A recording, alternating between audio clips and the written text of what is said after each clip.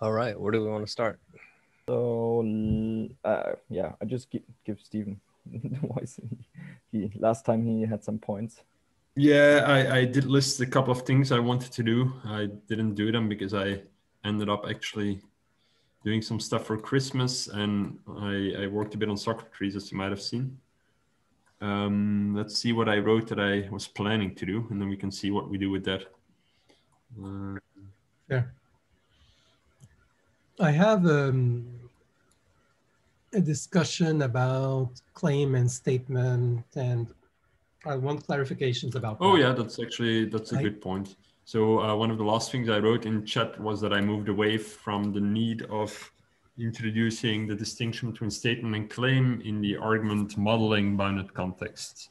But although I still like the distinction, um, I'm okay with calling both claim, but just considering one claim as part of argument modeling and another claim as part of what I think I called argument mining.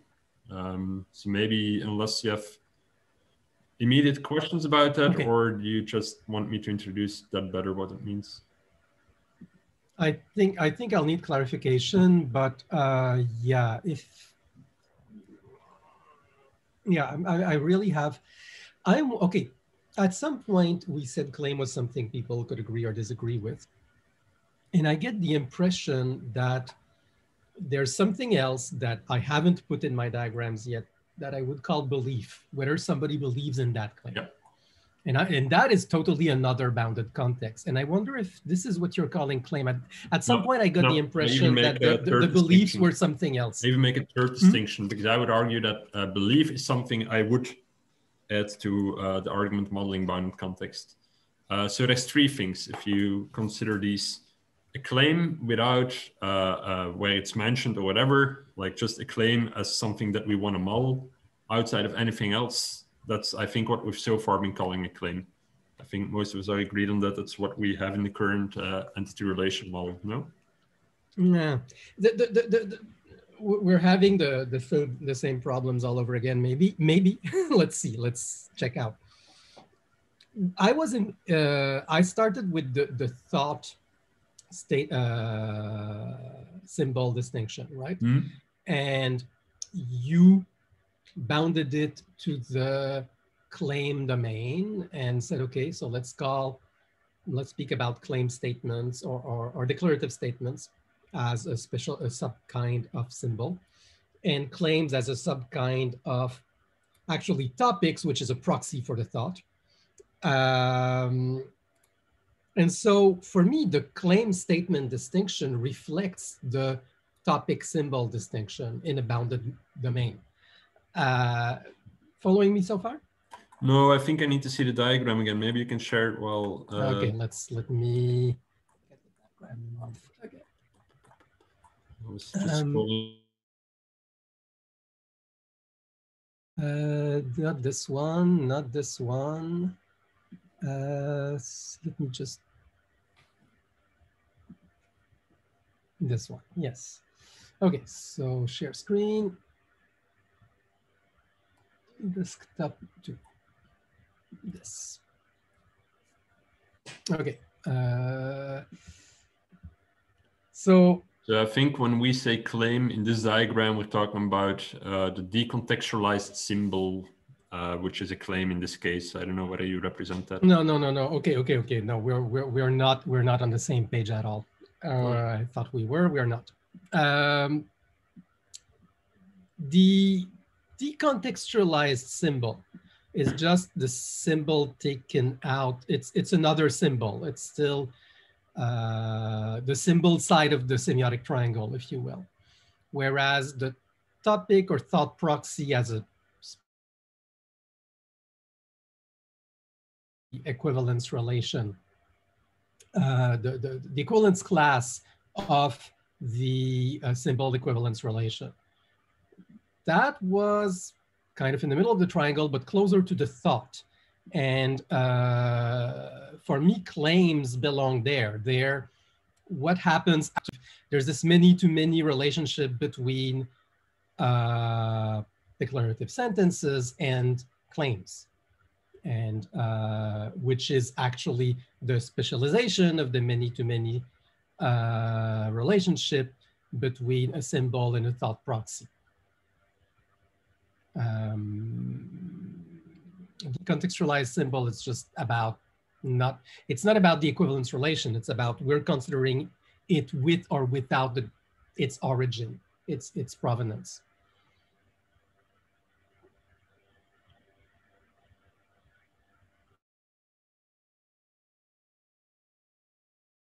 To distinguish, um, so when if you look at the, the, the first efforts in the glossary of writing what a claim is, there's no mention of uh, um, of provenance there. It, it just points to no, the claim. Claim has nothing to do with provenance because claim is at the thought proxy level. The, pro, the, the provenance non-provenance distinction is between decontextualized symbol and symbol in context. And the declarative sentence, I'm saying let's have it as a subclass of the contextualized, which or not. I, I don't think that matters. So if if a claim is just a set of declarative sentences, which I think we agree on. A set of declarative sentences. Yes. Well, it's nothing representative more, nothing representative now, of this. Yeah, yeah, yeah, yeah. Okay, okay. It's let's a, assume for now that's all it is. So Okay. I think that's what we call a claim. It means that you don't know where the claim was stated. That means you don't know whether or not anyone believes in it. All of that is external to that. Okay. No? Or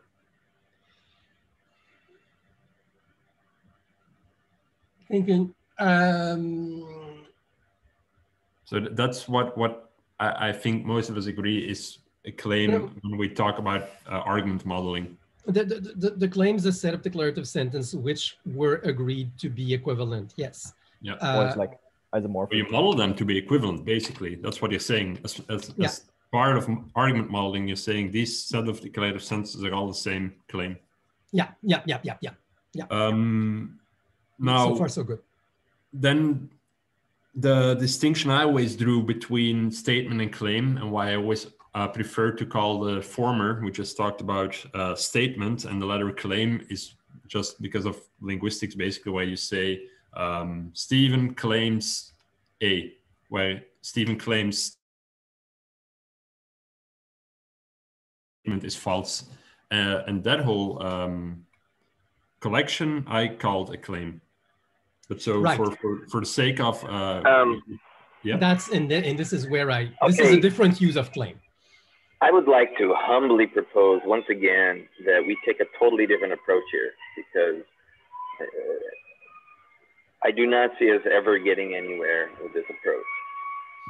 I think if we start from the bottom up, one use case at a time, and slowly refactor, we will get to where we want to go without with using all the same term without ever having to go through this what I consider abstract and philosophical exercise because